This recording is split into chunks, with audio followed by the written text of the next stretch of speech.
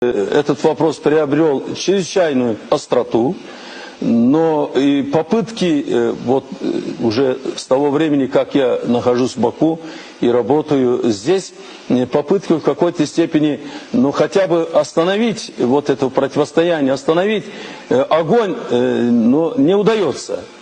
Вам известно, что последние месяцы вооруженные армянские формирования захватили очень много э, населенных пунктов, целый Кельбеджарский район Азербайджана, много населенных пунктов э, не только э, на территории бывшей Нагорно-Карабахской автономной республики, за пределами э, этой автоном, э, автономной области, вернее, за пределами этой автономной области, э, и идет э, и массированное наступление. Э, вот я э, позавчера э, был вынужден пригласить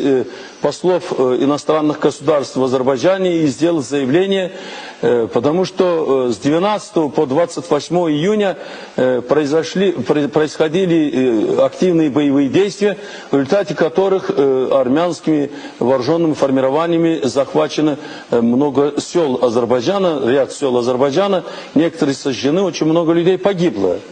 Но вроде усилиями и нашими, и со стороны армянского руководства, и других сил. 28 числа вроде